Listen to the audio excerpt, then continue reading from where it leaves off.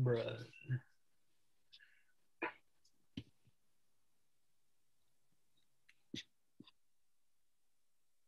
Right, one last person to admit. Okay, I think we can start now. Hello, everyone. Welcome to our second guest presentation. So today's speaker is Mr. Shaun Fickling, who holds a PhD in biomedical engineering from SFU. He is currently a senior researcher at HealthTech Connex, Inc. Thank you for coming today, Mr. Shaun Fickling.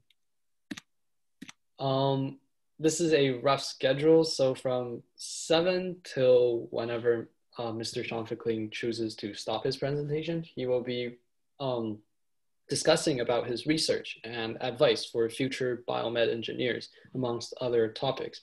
Afterwards, we'll be hosting a Q&A session from 7.40 to 8 p.m. or from whenever he stops his presentation till 8 p.m. So the rules of this presentation, first, please mute yourself during the presentation. Thank you. Second, please put your questions in the comment section during the presentation. It will be a lot more organized for us. We will read off your questions after he has finished your presentations. If you have any questions, please don't hesitate to send a message to one of our co-hosts. All right. Can I hand the presentation over to you now, Mr. Fickling? Absolutely. Thank you, Tommy. Hi, everyone. Uh, let me just share my screen. Uh, oh, can you enable me to, to share? I've got a presentation. All right. That would be great.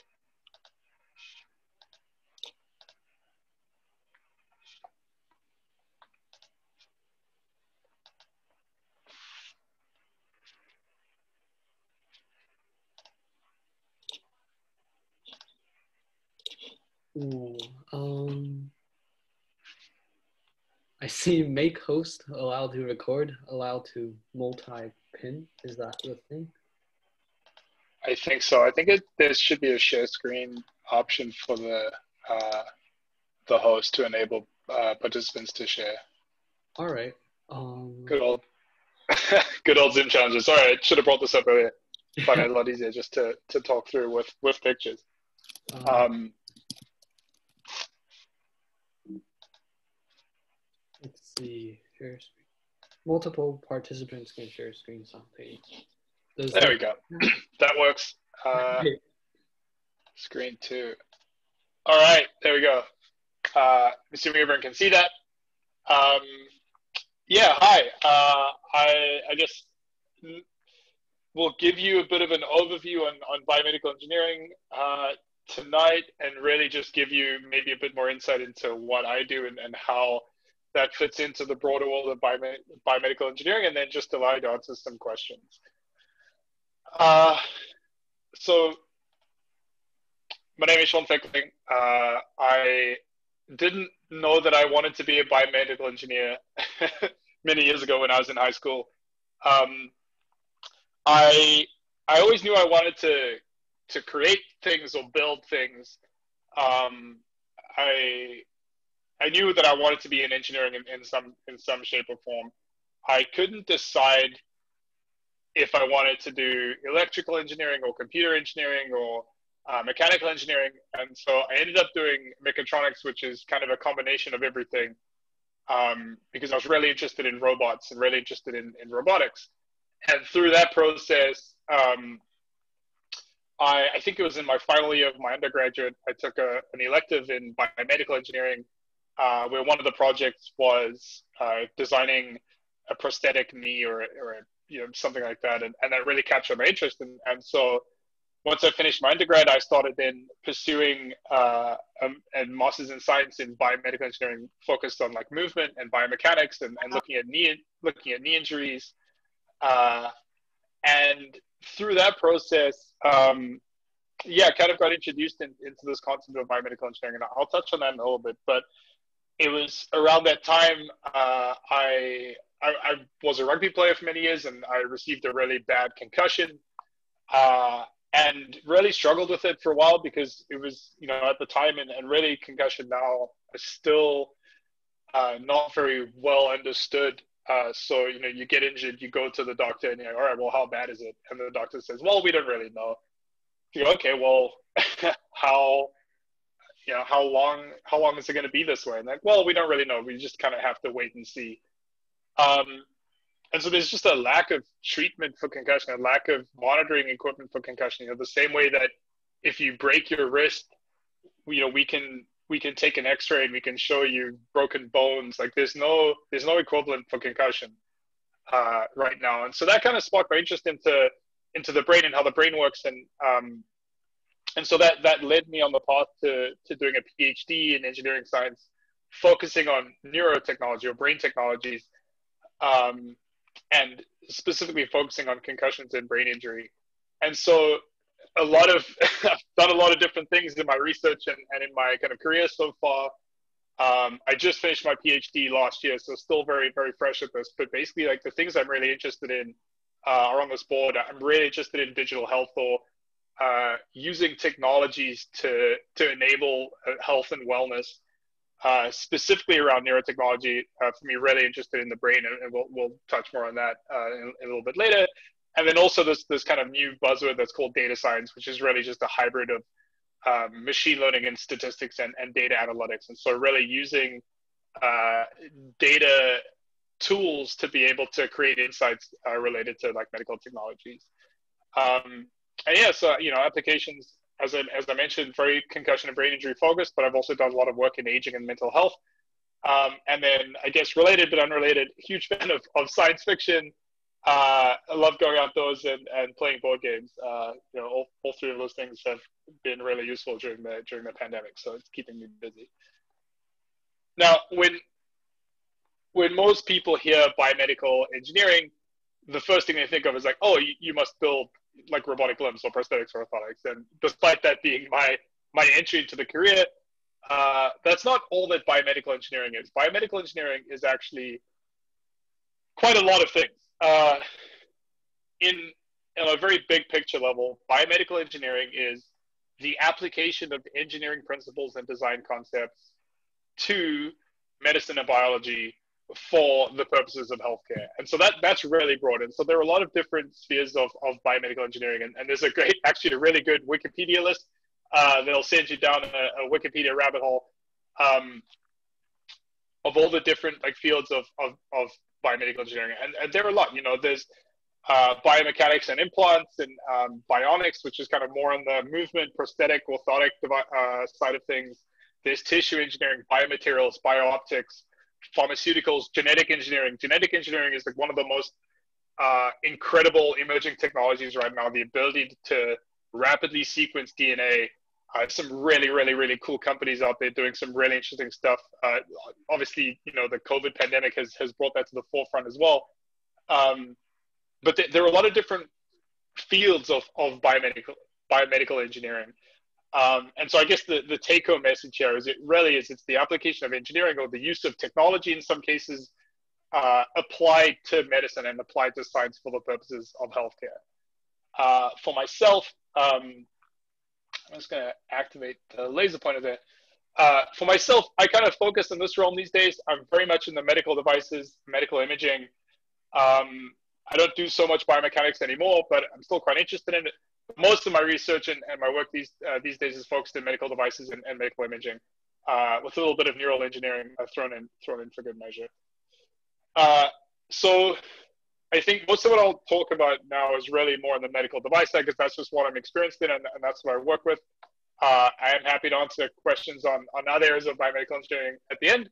Um, but I think you know talk about what you know and, and I know medical devices. So a medical device is a system that is intended to be used for diagnosis, monitoring, prevention, or treatment of a medical or a health issue.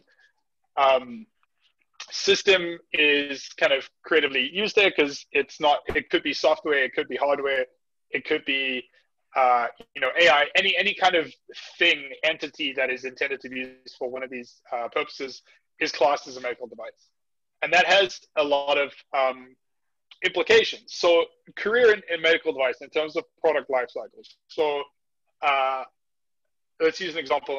I'll, I'll get to what I do specifically at the end. So uh, right now, let's let's imagine a, a fictional medical device.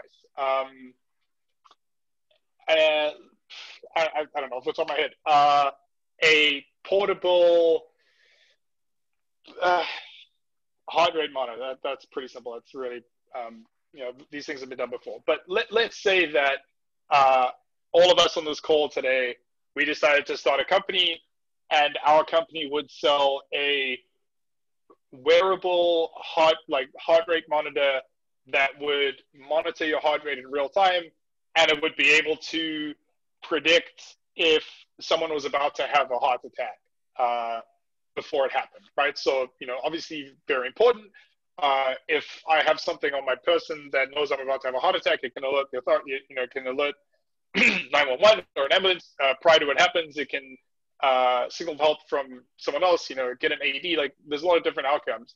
Obviously, with heart attacks or you know strokes or any kind of like sudden onset medical uh, emergency, the time to response is is very important. So our company that we've all created now, uh, we want to have this product.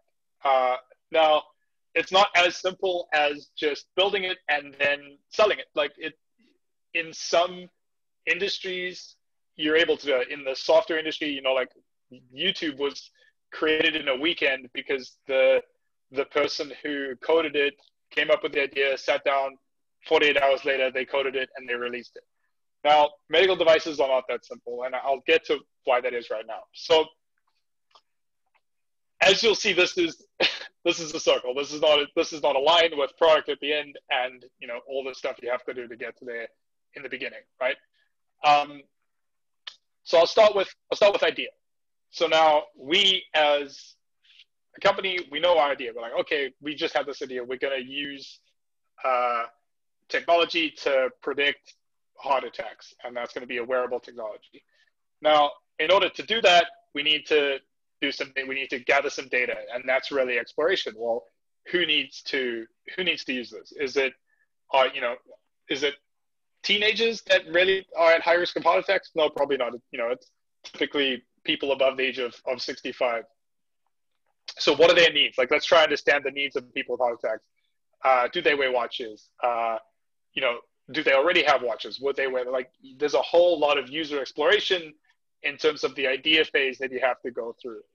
Um, and this isn't even getting to the actual development yet, right? So now once you know we might we might gather some data in terms of like user requirements um, so that we can start to build a prototype now in building a prototype uh, you obviously not you don't have a lot of money necessarily in the beginning of your device uh, so you're kind of bootstrapping you're pulling things together your prototype is often kind of you know lots of wires everywhere it looks very sciencey and engineering um, but you have to be able to test it so you know in order to once you have a, a small little prototype you want to gather some data. This is actually great. There's a little heart rate monitor there.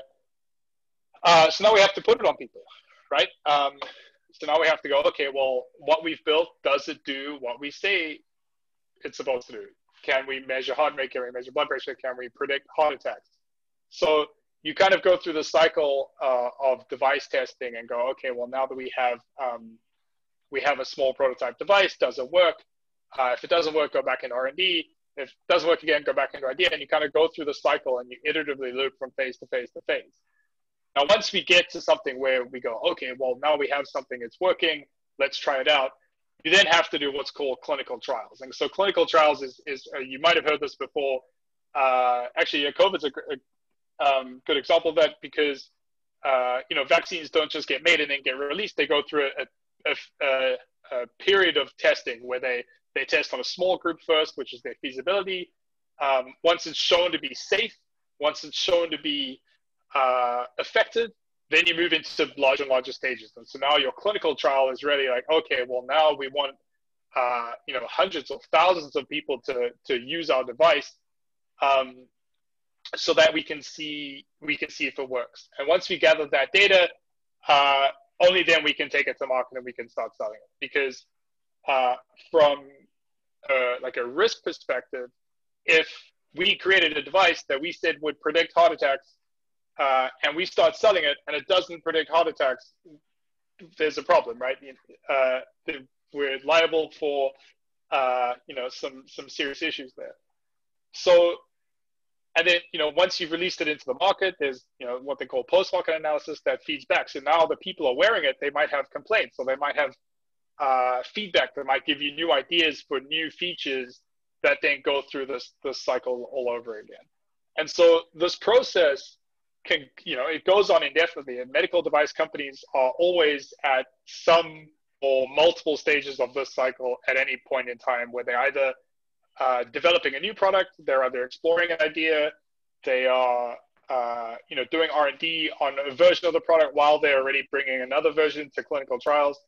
Um, and there's a lot of work and a lot of things that need to be done in all this. You know, but just the R&D is a lot of um, hands-on coding, creating, building, uh, and then testing and clinical trials is a whole different division of, of science as well, and then the analytics.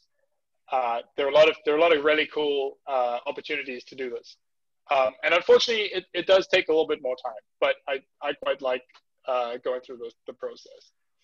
Now, I don't want to dive too much into this because I think I touched in the previous slide, but regulatory compliance is one of the things that that tends to hold up medical devices a little bit, but it's obviously really important. Uh, you may have heard of the FDA or Health Canada. Uh, these are authorities that you basically need to get approval from uh, to be able to take your device to market. So if we want to say that our device predicts heart attacks, uh, we have to be able to demonstrate that to the FDA or to Health Canada with all the data that shows that we can, in fact, do what we say we do and then they essentially give you the stamp of approval that says, okay, great, uh, you've shown, you know, you've shown that your device works. Uh, now you can go and you can go and sell it. So, kind of pivoting a little bit here, uh, we're in a really, really, really interesting phase of uh, technology. Um, there are a lot of really brilliant new what they call disruptive technologies that are kind of emerging at the forefront now and these are pre- presenting a lot of uh, really interesting opportunities for for integration within healthcare and within medical devices. Um, artificial intelligence over here is, is one. Ai is probably going to be one of the one of the biggest most beneficial um, tools for diagnostics. Uh, you know a lot of healthcare is gathering information and presenting that to a uh, clinician or a doctor who then has to kind of internalize all of that and make a decision around, uh, you know, in, in, my case, concussion or not concussion. You know, is this person concussed? Are they not concussed? Are they healthy? Have they returned to normal? Um, AI, big data, uh, these um, like deep learning networks are able to, to gather incredible amounts of information and are able to make very, very, very complex decisions, excuse me, very quickly and very easily. And so AI is going to be great and it really has an opportunity to help healthcare in a lot of ways. Obviously, uh, oil and gas and renewable energy, maybe not so much related to, to healthcare. Um, but look at like global internet penetration, like how we're now able to, to provide healthcare to people in remote areas through Zoom, which we wouldn't have been able to do, uh, you know, 10, 15, 20 years ago. Uh, now that we can get A, internet into remote places, and B, we can virtually interact with each other through these platforms. Um, the Internet of Things, 5G, uh, creating, you know, portable, lightweight, low energy wireless devices that interface, you know, for, I'll, I'll use our hot, our, um, uh, sorry, heart attack predicted device as an example, um, you know, 10 years ago, that would have been a really not a wearable. It would have had to have been something that someone would have had to strap around their chest. Whereas now we have these tiny sensors on little chips that we could just, you know, put on some skin or on their wrist or on their finger, and it'll just wirelessly connect with a cell phone and update data to, you know, to the cloud. Um, advanced robotics, there's some incredibly uh, sophisticated companies coming out now that are providing uh, robots that can do surgeries with unprecedented like precision uh, that are still controlled by a, by a surgeon or by an experienced operator, but you know don't suffer from fatigue, don't make you know mistakes or slips or um, you know they just have the ability to enhance, you know, medical care that we already have. Um, I've mentioned genomics a little bit and, and gene sequencing, 3D printing. Uh, I, I just I beg you to Google, you know, 3D printing of, of stem cells and organs and, and all these things that that uh, people are creating opportunities to to develop, you know, new organs for people who need them, new limbs. Uh, we're obviously not there yet, but the the technology is is really getting there. And then last, um, at least on this list, you know, if you Google new technologies, there's, there's hundreds of these, but virtual and augmented reality is very much a tool um, from gaming. You know, it, it started out as something that's more entertainment focused, but now people are using VR to to train uh, surgeons in surgery techniques. You know, because you can go through uh, you know hundreds of practice surgeries in VR that are highly accurate and, and real uh, realistic uh, but they don't have the risk. So they, they can make the mistakes in a simulated environment. And then when they're experienced in practice can go do surgeries on real people. Uh, you know, that's just a, that's just a tiny example. So the field of uh, medical technology for me is, is becoming this exciting, uh, new, you know, new frontier of all these new technologies that are being used in other areas that we can now integrate into healthcare uh, to create really, you know, quite useful uh, devices to, to help people. And so for me, my focus, uh, you know, my career now, I'm a research and development scientist uh, for a company called HealthTech Connex. Um, and my job, we're, we're quite neuro focused right now, but my job is really to, to look forward to the future and, and what is the future of, of brain health and brain science and, and what does that look like? Uh, the brain is, you know, as you may know, it's it's one of the most sorry, not one of the most. It is the most complex organ. They are, um, I forget the number off the top of my head, but you know, 10 billion neurons with billions of like trillions of different connections and synapses, and you know, the brain regulates the entire body from top down. It is the control center uh, of everything we do is governed and regulated by the brain on, on some level um, and it's it's incredibly complex, and we know so little about it. Uh, you know, um, from a like a holistic perspective, um, and everybody ages. Uh, you know, Alzheimer's and dementia is, is something that is, you know, heavily prevalent in our society. Traumatic brain injury, strokes, concussion. Uh, you know, brain injuries can affect people in, in so many different ways.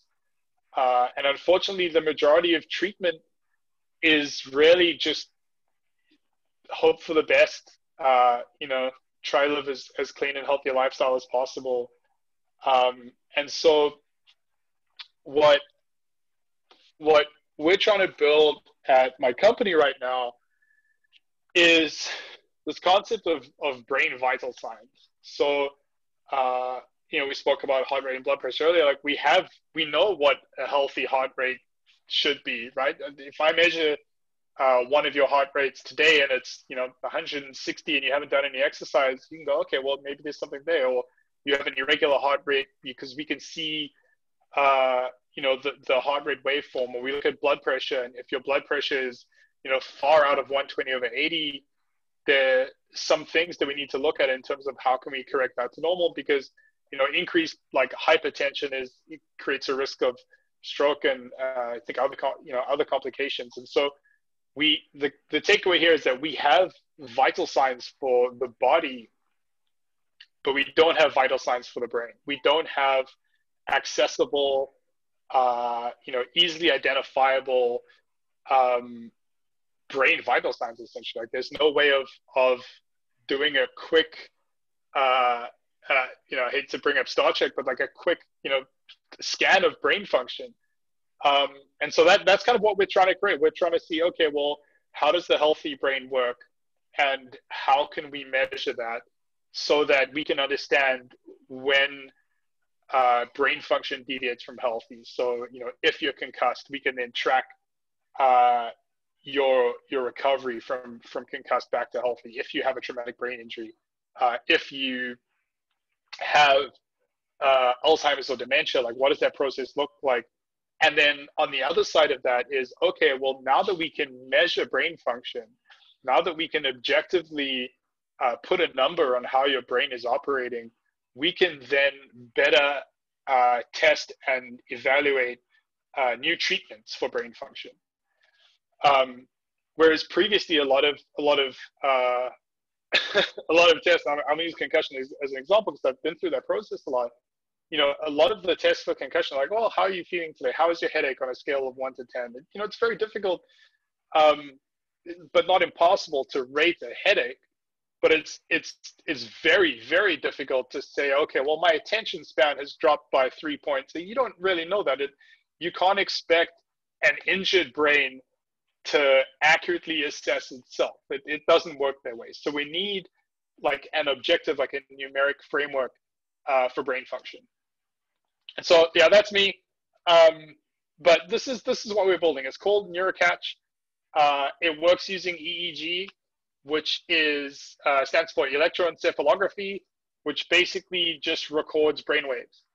And so we look at how the brain processes information, uh, and we can basically rank that because we know how the healthy brain should respond because we look at hundreds of people's healthy brains, and that gives us like a pattern, like a characteristic profile of what healthy or uh, neurotypical brains function. And so uh, when someone is injured or when someone is kind of deviates away from that like healthy brain status, we can then track that. So the brain responds to to patterns in very characteristic ways. So one of the things uh, that you can do is is you present a patterns of information. We use the auditory. You can use visual. Uh, you can present stimulus or, or patterns in, in a lot of different ways. And when you change patterns up, your brain is actually very good at picking up that information. So if I had to say to you a sentence that goes, the pizza is too hot too, your brain is naturally trying to jump one step ahead and fill in those gaps. And you know, you know that the word I'm gonna say, the pizza is too hot too, sing. And then if you say a word that kind of violates that, uh, breaks the pattern, so to speak, your brain responds in in a very different way, and that like that response is measurable using EEG. Now, the flip side of that is that the impaired brain or uh, the injured brain doesn't respond in the same way, and so that's how we can then start uh, figuring out where the where the gaps are. Now, in terms of uh, development, um, so what I do on a day-to-day basis is a little bit of everything. Uh, we're a, we're a startup company, so um, you know we're all heavily involved in, in all aspects. But we we create a platform, so we build the hardware. Um, we we write the software that's on the cloud now, um, and then a lot of my research is focused on the analytics. Say, okay, well now that we've able to record brain information uh, we're recording how the brain is processing uh, stimuli, or we, we can see how the brain is processing patterns.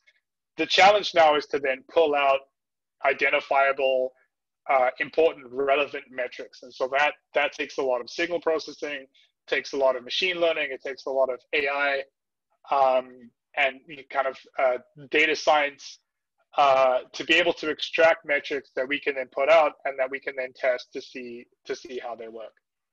Uh, oh, there you go. That slide kind of tells that. Um, and so quickly, this is uh, this is some research that I did with a group of ice hockey players uh, in um, Minnesota, in the states. Uh, so we took a team of ice hockey players and we kind of scanned them at a baseline time point, which is kind of before their season started. Um, and then if any of the players got concussed, we scanned them again just off the ice.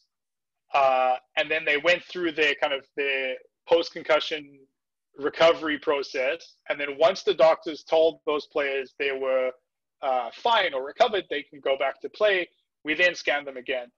Um, and so through this process, through you know using the stimulus, reading the brain waves, applying fancy algorithms to get brain vital signs, um, this is kind of the the results we get is we see this this kind of symmetrical, almost hexagonal, uh, healthy profile Um, when players are injured, it kind of shifts to this this more of a triangular profile because the data in three of these metrics gets larger and smaller, uh, and some of them get smaller.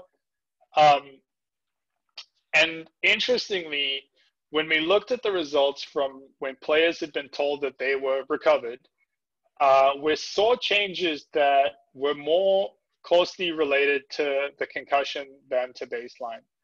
Um, and so what this tells us is that a the current like clinical concussion re, you know recovery processes are uh, maybe not conservative enough um, and that like players are being cleared to play while still showing some signs of impairment in this case uh, in a measure of attention um, but b that what we're looking at is actually really really really sensitive to brain function which is super cool uh, and so we're doing a, a, lot more work on this, and I'm very happy to, to talk about uh, some concussion research if you're interested afterwards.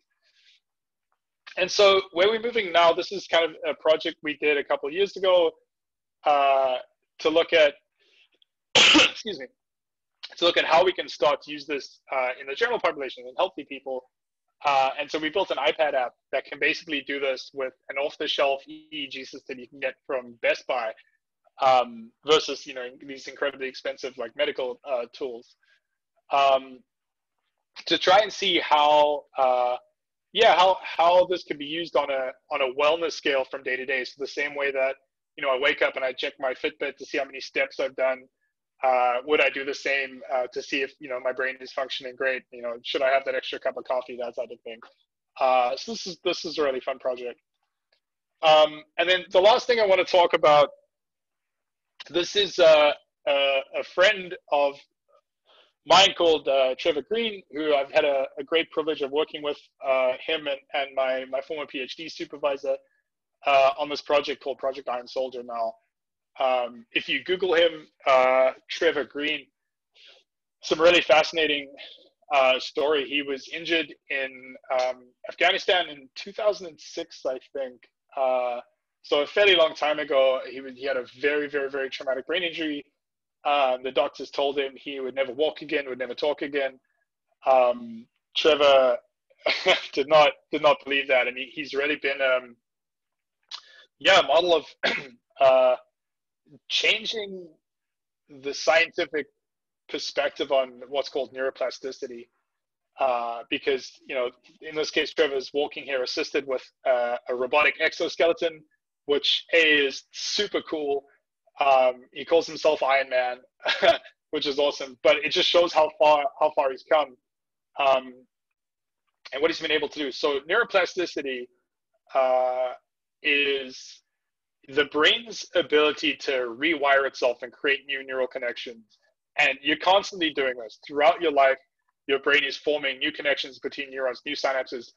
Uh, it's forming new networks constantly it does this a lot more when you're young and a little bit less when you're old, but it's it's an ongoing process. It's always, always, always adapting. Um, traditional healthcare in terms of traumatic brain injuries has said that whatever progress you you make, uh, sorry, whatever progress you don't make in the first six months after a, a massive brain injury, you're never going to get that function back. And Trevor's challenging this still because he's still making huge improvements in his recovery, you know, 14, 15 years after his injury. And he uses a lot of, you know, uh, a lot of techniques in terms like visualization and, and focus and, you know, practice and all these things. Um, but the the take home here is that uh, your brain is incredibly brilliant at what it does, uh, and if it's given the right conditions, there's there's no injury that we can't bring people back from using the right technologies and, and the right approaches. Uh, so yeah, I think um, that actually takes us to to 740. Um, so thank you for that. Uh, I feel like I, I spoke a lot. I hope that was uh, that was informative. Um, and yeah, I'd, I'd love to I'd love to answer some more questions as we go forward. All right, thank you. Um, okay, let's see. I have a few questions for you, um, Mr. Fickling. So my first question is, how did you become a senior research and development scientist at Healthcare Connex? HealthTech Connex. Like, what was the process like? You know, transitioning from a student to a senior research and development scientist. Yeah, um, that's that. Yeah, that's a great question. Uh, it's it's obviously very different. Um, I, as I mentioned in the beginning, uh, you know, I went straight from high school into my undergraduate, straight from undergraduate into my master's, straight from my master's into my PhD. So I really was doing uh, a lot of research and a lot of kind of more scientific focused things. Um, through my PhD, uh, which I did at Simon Fraser University here in here in Vancouver, uh, I was connected with HealthTech Connex. I, I kind of worked for them part time uh, along the way because they were doing something very similar to, to what my research was in, in concussion. Um, so there was a lot of uh, there's a lot of overlap there. Um, and so I, you know, I, I, started consulting with them and I had that opportunity. And then the moment I finished my PhD, I kind of moved over and started working for them full time into that position. Uh, so the the difference in industry is that in academia, like in, in your in your university, um, whether it's undergrad or, or master's or PhD, research is quite um, it's quite fluid. You can there's a lot more freedom. Whereas in industry, like I spoke earlier about the um, the regulatory like medical device process, uh, it's a lot more rigorous in terms of what you have to do. So there's a lot more uh, documentation and paperwork and uh, you know like kind of you know how in uh, I guess in, in like your math classes you have to show you're working out for everything. Uh, yeah, the medical device industry is very much like that, but but multiplied by multiplied by ten. So that was that was a big um, big surprise for uh, for me. Uh, but again, it's obviously all you know really important and necessary. So it was it was something I wasn't expecting, but I'm getting used to that. All right, cool. Thank you. Um, I'll start reading out some of the questions from chat now that they're coming up. Our first question is from Cheryl Chen. She asks, what findings in your concussion research have been most surprising? Oh, um, excellent question as well. Uh, so I didn't show that because it's, it's quite a lot to talk about, but that same group of hockey players that we looked at um, in that, that same team, uh, the players that did not that were not diagnosed with concussions um, we we looked at their data from before the season and we looked at their data at the end of the season and we also noticed some changes in their in like metrics of brain function that occurred in players who were not injured during the season and so that was a quite surprising and b it tells you two things. It, it says either they are uh, getting concussed and it's not being diagnosed, which is a problem, or B, they are kind of gradually accumulating some form of like mild impairment over the course of the season because of the repetitive head impact nature of the sport. You know, even if you play in a game, whether it's hockey or rugby or football or you know it's contact sport, there's still impacts to the brain that are what are called subconcussives. They're below a threshold that would uh, create an injury. And a lot of the the like other researchers, other than like myself and my research group, are finding this as well, uh, using MRI, using all sorts of like neurotechnologies. Um, and so that's been that's been really interesting. Is like okay, well, how do we how do we measure this and how do we make sure that that participating in contact sport isn't setting someone up for you know degenerative brain disorders and so there's uh, there's a lot we don't know in this space i want to be very clear on that uh, these are more questions than answers um, but it's it's a very exciting and interesting new field and there's a lot that we still need to figure out so that was definitely the most surprising for me oh, thank you for that answer all right, our next question is from Tian. He asks, is it easy to transfer from engineering physics to bioengineering? Yes. Um, it's, you know, it's, nothing's ever easy. Um, it's, it's straightforward. I'll, I will put it that way. The, the translation is, is pretty simple. Like, fortunately, physics uh, physics is physics, regardless of which industry you're applying it to. Um, the laws of the universe are pretty consistent. Um, so that's kind of nice. Uh, a lot of people who do uh, study fit, like not engineering physics, like just physics itself, actually go into medical imaging because uh, magnetic resonance imaging or MRI is, is one of the most like complex physics like physics uh, applications out there. I will say that the transfer from engineering physics to bioengineering is is not so much about maintaining your physics; it's about adding in biology. Um, that was really hard for me. That's the bit I struggled with because I, I didn't take biology in, in as to grade 12 in high school, and I didn't take biology in my undergraduate. Uh, and so when I moved into biomedical, I actually had to take a, a few uh, classes that like medical doctors were taking. I took anatomy. I did like cadaver dissection. I had to take physiology. Uh, you know, I had to take a bunch of these uh, classes that I was very inexperienced in. Um, and so it was actually quite eye opening. Um, but weirdly enough, having only really been exposed to like math and physics and comp sci and code, you know, to, to actually take classes in biology and medicine and anatomy and learn about how the body works was so eye opening. I, I really loved it. So I think it's more it's more about adding in the bio than it is um, making the physics more complicated. If that makes sense. All right, thank you. Um, our next question is from Alyssa G. She asks, "Did you know for sure from very early that bioengineering is what you want to do?" Or how have you come to the realization that bioengineering is what you want to pursue?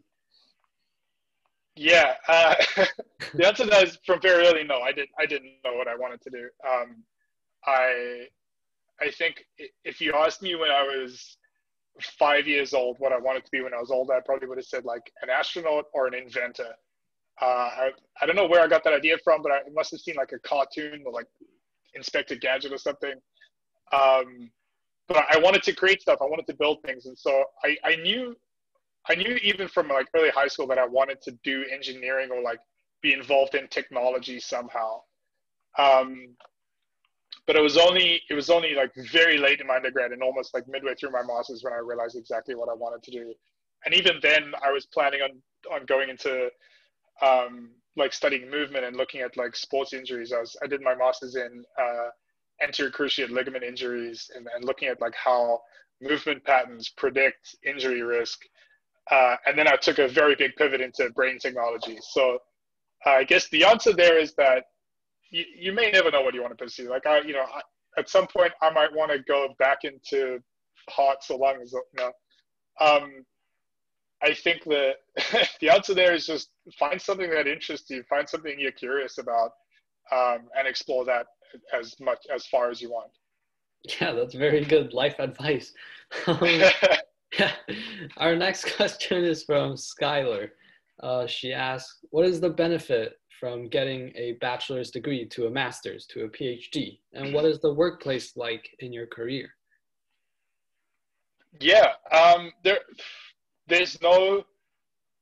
I will say there's no one right way of doing it. Um, I decided to go all the way through to PhD uh, because I was mostly driven by the curiosity and, and, that like desire to do research and that desire to explore. Um, you can do you can be a biomedical engineer with with an undergraduate.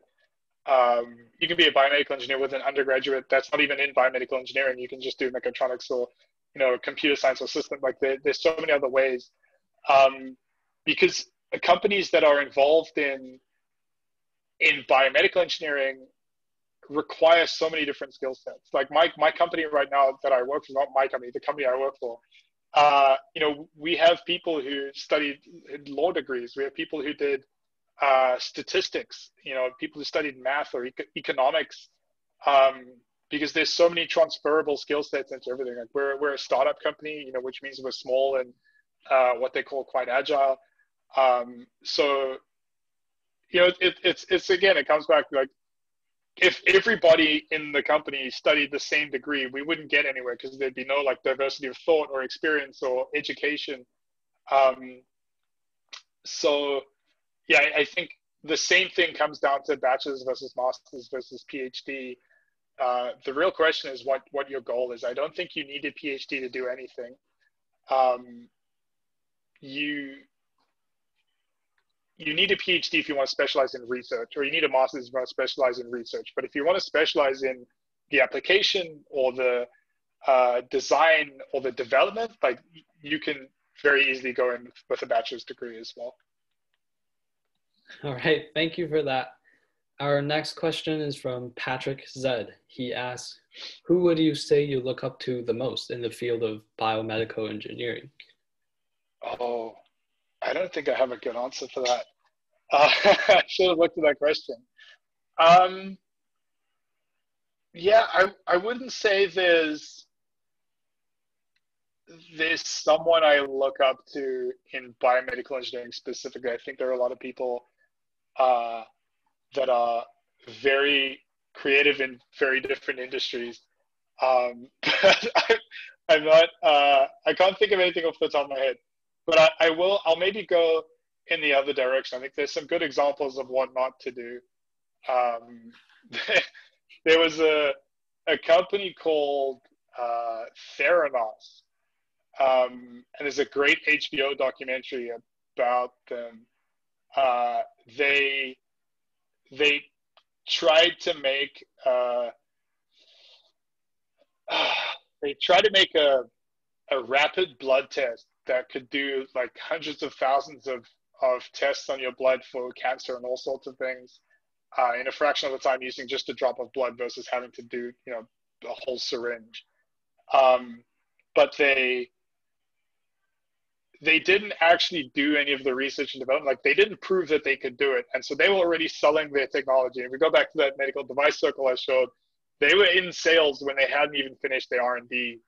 Um, and I think it's it's just a uh, you know it's a warning to the industry really of, of what not to do and, and that you have to go through the steps and you have to you know you have to show you're working out at the end of the day in order to in order to to make technologies that actually help people. I think they had a great idea um, and I think there are some other companies right now that are kind of trying to do the same thing. But sometimes when you have these these big, you know, what they call like moonshot ideas that, that could change the world or change healthcare, it does take a lot of time to to fully explore that and to make sure that you are actually creating that change. So, you know, for me, I think that's uh, it's a good lesson in um, yeah, in, in in what to do.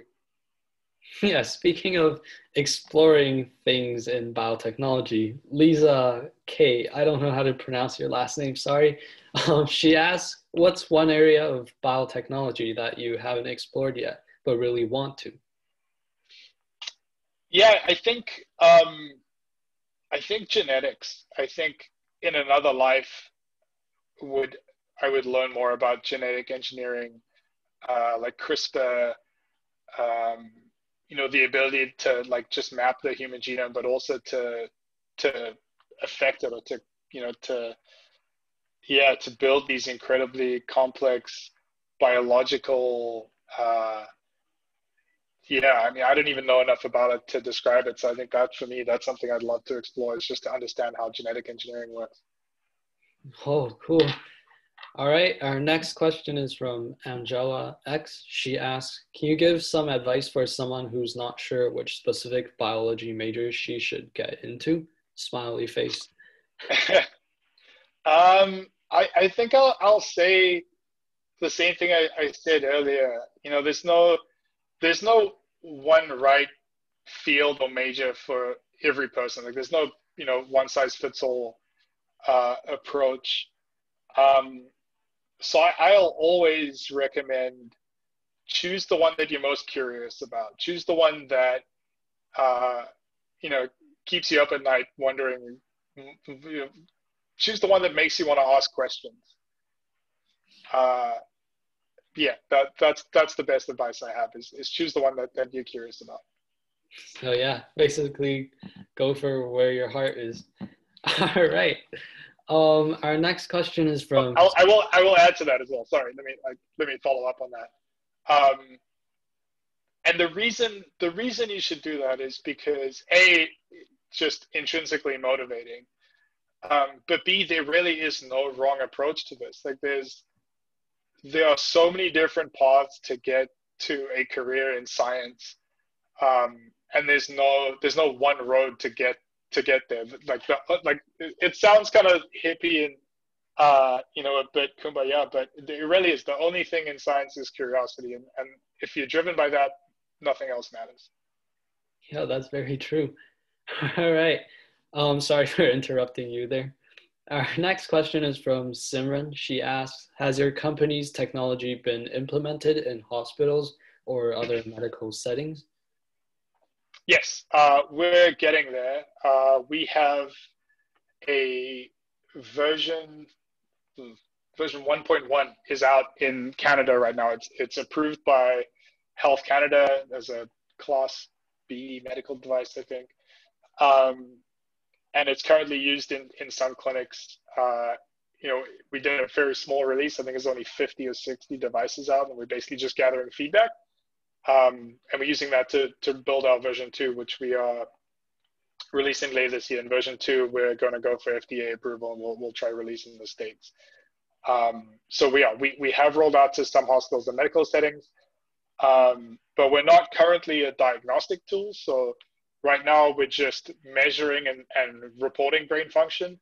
And so what we're hoping to be able to do is develop the analytics on, you know, on a later stage that we can actually start to make diagnoses, that we can actually start to say, okay, um, based on these scan results, this person has a 93% chance of being concussed, uh, you know, or a 51, you know, being able to use the information that we've recorded to provide uh, more diagnostic information. That's the that's the next step for us. So you know, it's a it's a slow process, and we're we're currently just doing our research right now, um, while our first version of the device is, is out in the world.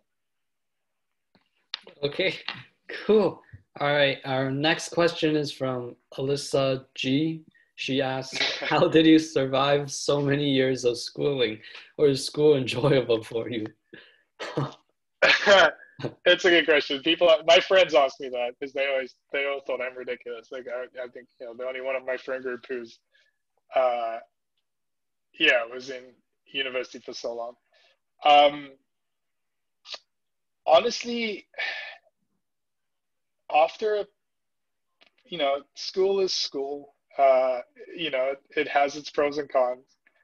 Um, I think for me is university and you know doing an MS, a master's and a PhD really was driven by that curiosity. Like I wanted to explore those injuries. I wanted to learn more about the brain or you know ACL injuries. Um, but after a point, it, especially in like once you transfer from undergraduate to to postgraduate it's very different. Postgraduate is very much more of a job. It, it is kind of a nine to five. Like they are you are still taking classes um, but the the process is very different to undergraduate or high school which is very much like show up um, attend your classes uh, do your tutorials um, you know your quizzes and write your tests and your exams and your assignments and hand them in.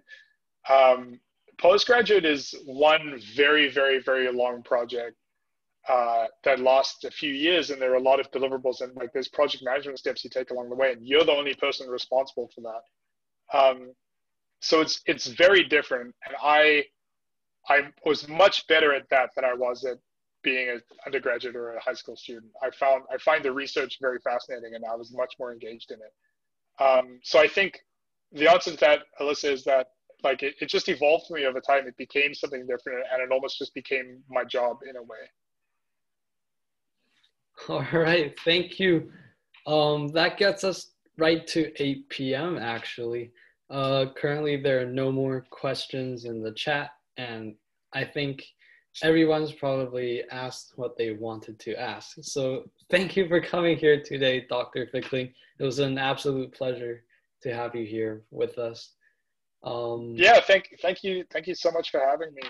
Uh, I love doing stuff like this, and you know, I think if you if you take one one lesson away from this, it's that you know if something interests you, just go chase it and, and see. Just ask questions. Yep. All right. Um, well, thank you for coming here, everyone, as well. Everyone saying thank you, Dr. Fickling in chat. That's very kind. Thank you. Yep. All right. All right. Well, all the best for the rest of your school year and uh, take care and be safe. Yep. Same to you. Uh, not the school year part. be safe. All right.